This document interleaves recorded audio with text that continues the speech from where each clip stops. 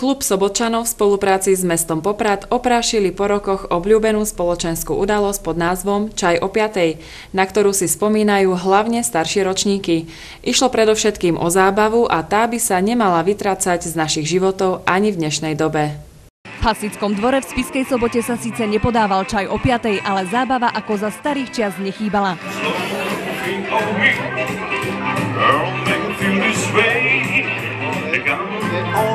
Spoločnosť pri hudbe, tanci je vždy, kde nemusí byť ani čaj. Čaj o 5 na slovenský spôsob je hlavne o zábave, o stretávaní sa a nadvezovaní priateľstiev. Mnohí si zaspomínali, ako to prebiehalo kedysi. Ono to nemuselo byť ani o 5 a obyčajne to ani čaj nebol.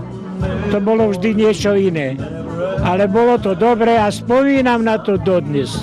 A tak sa pamätám na to.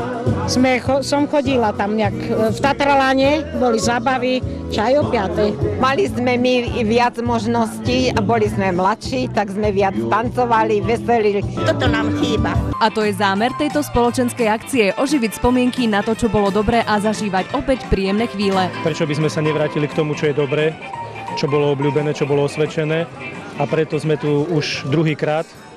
Je to už druhý čaj o 5. spiskej sobote a sme radi, že prichádza stále viac a viac ľudí, ktorí sa tu zabávajú a ktorí tu našli priestor aj na to, aby sa tu zišli, aby sa tu stretli rodiny, príslušníci, kamaráti, priatelia, aby si tu posedeli, dobre sa zabavili, porozprávali sa. Myšlienka prvého viceprimátora sa podarila zrealizovať vďaka spolupráci klubu Sobočanov, ktorí sa okamžite chytili príležitosti. Priestor Hasického dvora otvorili zábave. Prvý ročník čaju o 5. bol pred mesiacom.